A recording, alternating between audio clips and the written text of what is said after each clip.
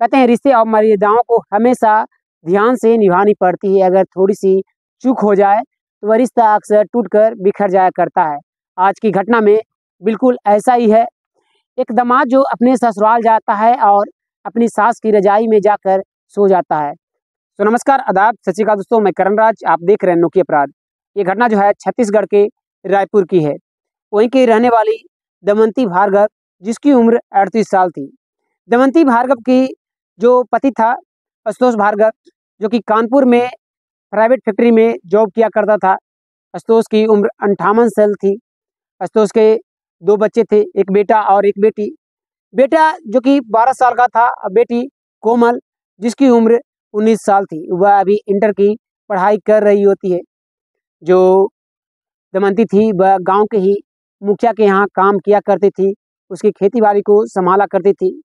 जो आशुतोष था वह कानपुर में रहकर जितने भी पैसे कमाता, वह अपने घर के खर्चे के लिए भेज दिया करता था। घर की जो स्थिति थी, माली हालत जो थी वह बहुत ही खराब थी। एक समय ऐसा था कि आज खाने को है, कल खाने को नहीं रहता था। ऐसे स्थिति से वह जो परिवार था, वह गुजर चुका था। जिस कारण से जो अस्तोष अपने दोनों बच्चों और अपनी पत्नी को गाँव में छोड़कर वह शहर कमाने के लिए गया हुआ था। अस्तोष कानपुर में जिस फैक्ट्री में काम कर रहा होता है उसी में और एक व्यक्ति जो कि काम कर रहा होता है उससे अस्तोष की काफ़ी गहरी दोस्ती हो जाती है। दोनों की बातचीत अच्छी खासी होती है। जो अस्तोष का, जो दोस्त था, वह कहता है कि, दोस्त, तुम्हारी एक बेटी है, जिसकी उम्र उन्नीस साल है, तुम बताए हो।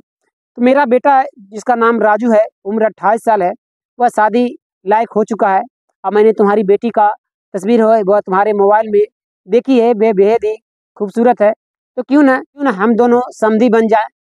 जैसे ही अस्तोष इस बात को सुनता है, वह कहता है कि उसकी बेटी कोमल जो है, जिसकी उम्र उन्नीस साल महज है, वह अभी शादी नहीं करना चाहता।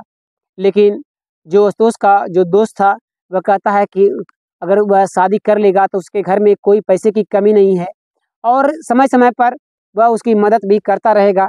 जो वह चाहता है कि उसके घर की जो बहू बने, वह बेहद ही खूबसूरत हो।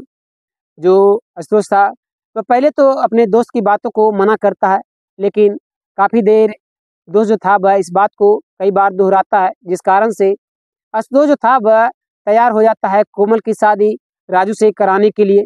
करीब एक महीने बाद जो अस्तोष था, वह अपने दोस्त के साथ अपने अपने गाँव पहुँचता है। दोनों जो थे, वह जब अपने अपने गाँव पहुँच जाते हैं अस्तोष अपनी पत्नी को सारी बातों से अवगत कराता है दमंती से कि कोमल की शादी जो है, वह मेरे एक दोस्त, जिसका बेटा राजू है, उसे शादी मैंने तय कर दी है। जो दमंती थी, इस बात को सुनती है तो वह पहले तो खुश नहीं होती। वह कहती है कि उसकी उम्र जो है कोमल की, वह महज उन्नीस साल है। वह कुछ दिन अभी पढ़ना चाहती है तो उसे पढ़ने दीजिए। लेकिन जो अफसोस था, वह कहता है, मैंने जवान दे दी है, मैं जवान से पीछे नहीं हटूँगा और कोमल की शादी तो अब होकर ही रहेगी। इस बात को सुनकर जो दमंती थी, वह मुस्कुराती है और कहती है, ऐसी कोई बात नहीं जिसे आप जो है बुरा मान रहे हो। मैं बस यही कहना चाह रही थी कि कोमल जो है वह अभी काफ़ी छोटी है, जो अफसोस था। वह कहता है कि तुम समझ नहीं रही हो, वह उम्र लायक हो सकी है, शादी की उम्र उसकी हो चुकी है, जो उसकी शादी कर देने में फ़ायदा है, जो वह एक भी रुपये दहेज में नहीं ले रहा। इस बात को सुनकर दमंती जो थी, वह बेहद ही ज़्यादा खुश होती है। इतना कहते हुए वह अपने किचन में खाना बनाने के लिए चली जाती है और जो दोस्त था, वह तुरंत अपने दोस्त के पास कॉल करता है और कहता है कि शादी की तारीख जो है वह तय कर लेनी चाहिए। पंडित को बुलवा कर अच्छी तारीख जो है वह हम लोग बैठा लेते हैं। जो उधर दोस्त था वह भी कहता है कि ठीक है, बहुत ही जल्द मैं जो हूँ वह तुम्हें बता दूँगा कि किस तारीख को हम लोग जो है वह शादी करेंगे अपने बेटे राजू और कोमल की और किस होटल में। क्योंकि बारात जो है वह हम लोग के घर से नहीं जाती है, होटलों में ही शादी होता है तो हम लोग का घर जो है वह सही से चलता है। इस बात को सुनकर अस्तो जो था वह कहता है कि ठीक है, आपकी जैसी मर्ज़ी। बस मेरी बेटी जो है वह खुशी से रहनी चाहिए। जो अस्तोष का दोस्त था, वह कहता है कि तुम्हें इस बात की चिंता नहीं करनी चाहिए। तुम अपने दोस्त के यहाँ अपनी बेटी को भेज रहे हो, मैं उसे बहू नहीं, बेटी बनाकर अपने घर में रखूँगा। इस बात को सुनकर जो अस्तोष था, कोमल का पिता, वह बेहद ही ज़्यादा खुश होता है और कहता है कि ठीक है, मैं बहुत ही जल्द आपके पास कॉल करता हूँ। करीब दो दिन बीत जाते हैं। जो अस्तोष भार्गव था वह अपने दोस्त के पास कॉल करता है और बताता है कि शादी जो है वह फिक्स कर दी है पंद्रह नवंबर 2015 को। जो आशुतोष का दोस्त था, वह इस बात को सुनता है। वह कहता है कि ठीक है, और होटल तो क्या कोई आपने पसंद कर लिया है? आशुतोष जो था, वह कहता है कि नहीं, मैंने तो कोई भी होटल अभी नहीं देखा है। इस कारण से जो आशुतोष का जो दोस्त था, वह कहता है कि क्यों ना कानपुर के ही होटल में शादी कर देनी चाहिए। जो आशुतोष था, वह पहले तो कुछ सोचता है और कहता है कि उसका घर जो है, वह छत्तीसगढ़ है और काफ़ी दूर है। इस बात को सुनकर जो आशुतोष का जो दोस्त था, वह कहता है कि कोई बात नहीं, मैं यहाँ जो है, वह सारा चीज़ देख लूँगा। बस तुम अपने परिवार के साथ उस होटल में पहुँच जाना और शादी हम लोग जो है, वह वहीं के पास के मंदिर में धूमधाम से अपने दोनों बच्चों को कर देंगे। जो आशुतोष था, इस बात को सुनता है। पहले तो उसे मन नहीं होता है, लेकिन जो दमंती थी, वह कहती है कि जब आप जवान दे ही चुके हो शादी करने के लिए तो इसमें सोचना क्या है? चलिए हम लोग जो है वह कानपुर में ही जाकर राजू से शादी कर लेंगे और मैं भी अपने दामाद को देख लूँगी। जो अस्तोष था वह अपनी पत्नी दमंती की बातों को सुनता है तो वह कहता है कि ठीक है, जैसी तुम्हारी मर्ज़ी। इतना कहते हुए जो अस्तोष था वह अपने घर से चला जाता है। करीब दो महीने बीत जाते हैं। दो महीने बीत जाने के बाद जो अफसोस था, वह अपनी पत्नी कोमल और अपने बेटे और अपनी पत्नी के साथ वह कानपुर उस होटल में पहुँचता है। पहुँचने के बाद वह अपने दोस्त से मिलता है और जो राजू था, वह जैसे ही अस्तोष को देखता है, वह चरण स्पर्श करता है और अपनी सास दमंती को देखता है तो वह देखता ही रह जाता है और कहता है, आप कौन? आप बेहद ही खूबसूरत लग रही हो। जो दमंती थी, वह समझ नहीं पाती कि वह जो लड़का है, जो उसकी तारीफें कर रहा है, वह कौन है? जो अस्तोष था, वह वहाँ से चला जा चुका था। दमंती जो थी, वह पूछती है कि तुम कौन हो? जो वह लड़का था, वह बताता है कि उसका नाम राजू है और आशुतोष अंकल जो है, वह उसके पिता का दोस्त है। जैसे ही इस बात को दमंती सुनती है, वह कहती है कि जिसके बारे में तुम बात कर रहे हो, तुम्हारे पिता का जो दोस्त है, आशुतोष है, वह मेरा पति है और मैं तुम्हारी होने वाली सास हूँ। जैसे ही राजू इस बात को सुनता है वह मुस्कुराता है और कहता है कि मैंने कुछ गलत तो नहीं कहा, बस इतना ही कहा कि आप जो है वह बेहद ही खूबसूरत दिख रही हैं। आपका लगता उम्र लगता नहीं है कि आप जो है वह अस्तोष अंकल का आप पत्नी हैं। इस बात को सुनकर दमंती जो थी वह मुस्कुराती है और कहती है, ऐसी बातें ठीक नहीं है। कि चलो अंदर होटल में चलते हैं। इतना कहते हुए जो राजू था वह अपनी सास दमंती के साथ वह अंदर चला जाता है। करीब रात के एक बज रहे होते हैं, जो सभी परिवार थे। वह राजू और कोमल की शादी बेहद ही धूमधाम से वहीं के पास के मंदिर में कर देते हैं। वहीं पर खाने की व्यवस्था उसी होटल में की जाती है। सभी लोग खाना पीना खाते हैं। खाना पीना खा लेने के बाद उस रात को उस होटल में काफ़ी ज़्यादा एंजॉय करते हैं, पार्टी करते हैं, जिसमें राजू जो था वह काफ़ी ज़्यादा शराब पी लेता है और वह अपने पत्नी के कमरे में पहुँचता है। तो देखता है कोमल जो है वह कपड़े चेंज कर रही है। जो राजू था, वह अपनी पत्नी के पास पहुँचता है और अपनी पत्नी कोमल से प्यार करना शुरू कर देता है। जो राजू था, वह काफ़ी ज़्यादा शराब पी चुका था। वह कोमल को बेड पर सोने को कहता है और वह भूखे बेड़िए की तरह अपनी पत्नी पर टूट पड़ता है। जो कोमल थी, वह गुस्सा करने लगती है, चिल्लाने लगती है कि वह ऐसा ना करे। वह अभी काफ़ी छोटी है, लेकिन जो कोमल थी, वह सब बातों को कहती जा रही होती है और राजू इन सब बातों को अनदेखा कर रहा होता है, अनसुना कर रहा होता है और वह रात बीत जाती है। अगली सुबह होते ही जो कोमल के माता पिता थे अस्तोष और दमंती वो अपने घर वहाँ से रायपुर के लिए निकल जाते हैं। कोमल जो थी, वह अपने पति राजू के साथ और अपने ससुर अपने सास के साथ वहाँ से कानपुर के गाँव में चली जाती है। दिन समय बीत रहा होता है। राजू जो था, वह हर रात को शराब पीकर आता और अपनी पत्नी कोमल के कमरे में जाता और भूखे भेड़िए की तरह अपनी पत्नी पर टूट पड़ता। जो कोमल थी, वह इन सब बातों को किसी से कह नहीं रही होती है। उसे लग रहा होता है कि शायद वह किसी दिन वह सही रास्ते पर चले आएगा और समझ जाएगा कि इस तरीके से कभी अपनी पत्नी से प्यार नहीं करनी चाहिए। लेकिन दिन बीत रहे थे, जो राजू था, वह इसी तरीके से करता जा रहा होता है। कमल को अब रहा नहीं जाता तो वह अपनी माँ दमंती के पास कॉल लगाती है और कहती है कि, माँ, तुम कैसे लड़के से मेरी शादी करवा दी हो? जो जब भी वह मेरे कमरे में आता है, वह भूखे भेड़िए की तरह टूट पड़ता है।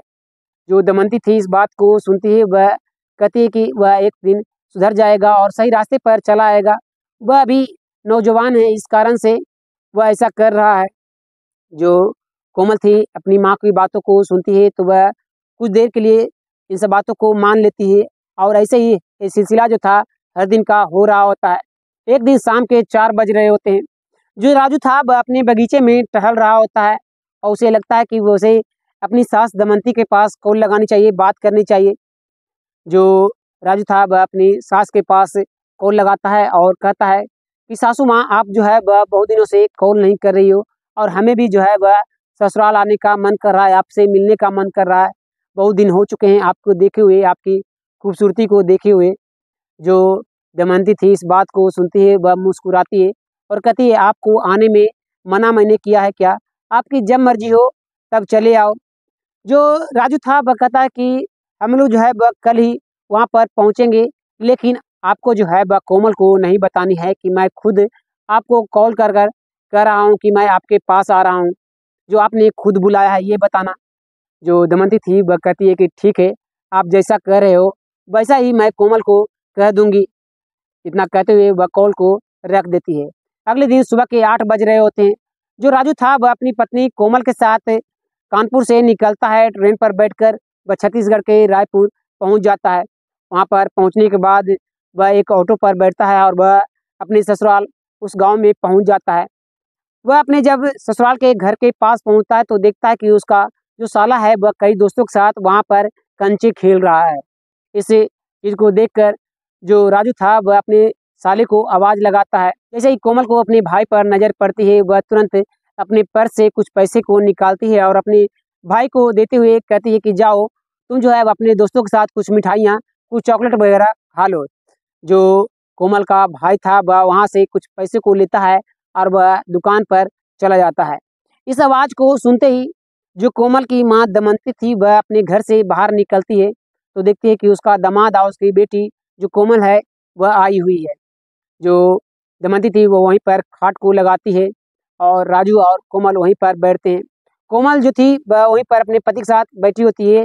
तो दमंती जो थी, वह कहती है कि तुम जो है, वह अपने मायके आई हो, जहाँ पर तुम्हारा बचपन बीता है। तुम्हें किस बात की सरवाना जो तुम्हारी चाची जो है, वह तुम्हारी इंतज़ार कर रही है, जाओ, उनसे भी मिल लो। जो कोमल थी, वह अपने बैग से एक मिठाई को, डब्बों को निकालती है और वह अपनी चाची की ओर जाने लगती है तभी। जो कोमल थी, वह अपने पति राजू से कहती है कि, क्या तुम भी चलोगे मेरी चाची के यहाँ?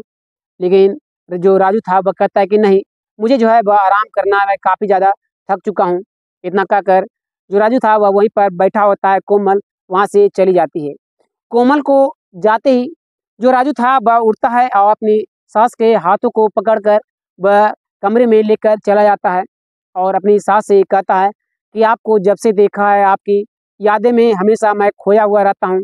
आपसे मुझे जो है वह प्यार हो चुका है। जो दमंती थी इस बात को सुनती है, वह कहती है कि कैसी बातें आप कर रहे हो? जो राजू था, वह कहता है कि आपको जो चाहिए वह मैं देने के लिए वहाँ तैयार हूँ। आपको पैसे चाहिए, गहने चाहिए, हर चीज़ मैं आपको दूँगा। कभी भी पैसों की कमी नहीं होने दूँगा, कोई चीज़ की भी कमी नहीं होने दूँगा। इस बात को सुनकर राजू की जो सास दमंती थी, वह तैयार नहीं होती है। जो राजू था, वह कहता है कि उसे, वह प्यार करता है। अगर वह उसे प्यार नहीं देगी तो वह कोमल को भी वह छोड़ देगा, तलाक दे देगा। जैसे ही उसकी बेटी पर यह बात आती है तो दमंती जो थी, वह वहीं पर चुपचाप से खड़ी हो जाती है और कहती है, ये कैसी बातें आप कर रहे हो? जो राजू था, वह कहता कि, मैं जो हूँ, वह आपसे प्यार करता हूँ, ना ही कि आपकी बेटी कोमल से। जो दमंती थी, इस बात को सुनती है, वह कहती है कि, आपकी इच्छा क्या है? जो बताइए, मैं आपकी पूरी कर दूँगी। जो राजू था, वह कहता है कि मुझे आपसे प्यार है और मैं आपके साथ संबंध बनाना चाहता हूँ।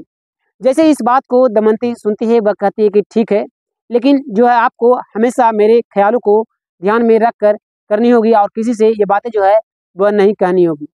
जो राजू था, वह मुस्कुराता है और कहता ये कैसी बातें आप कर रही हो?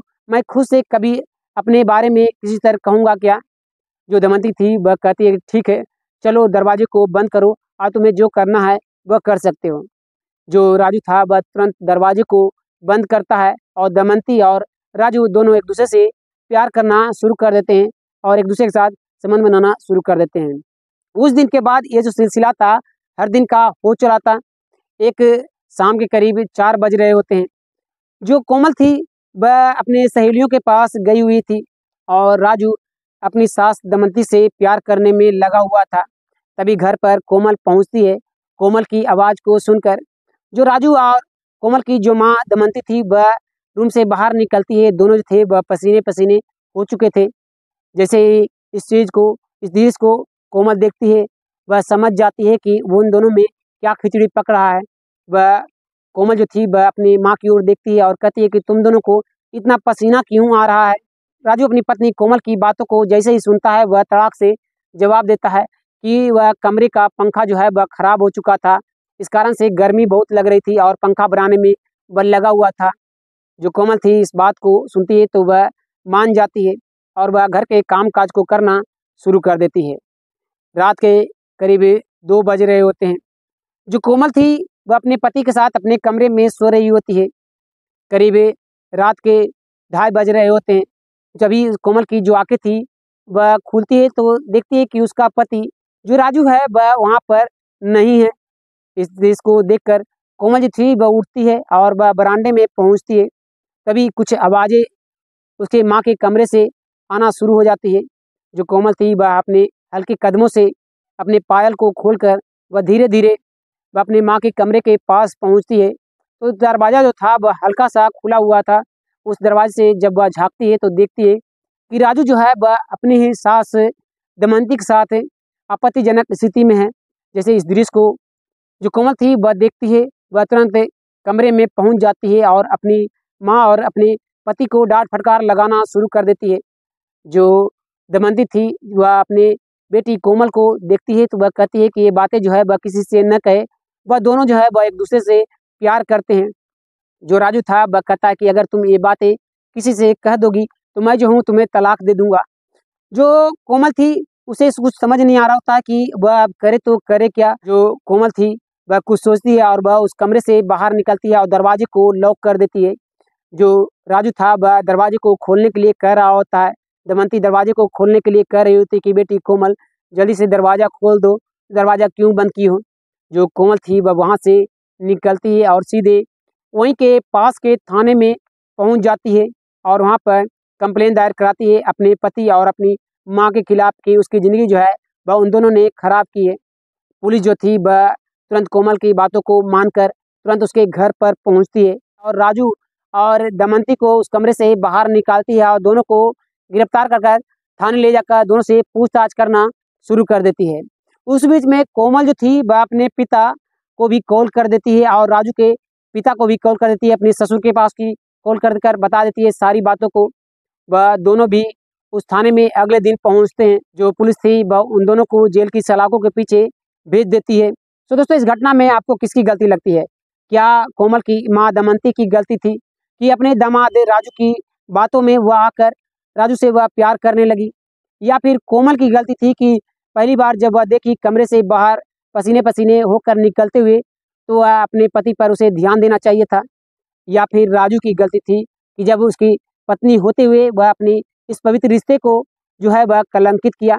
आपको किसकी गलती लगती है कमेंट में अपना राय जुड़ दीजिएगा। फिर मिलते हैं एक और वीडियो में। तब तक के लिए धन्यवाद। जय हिंद।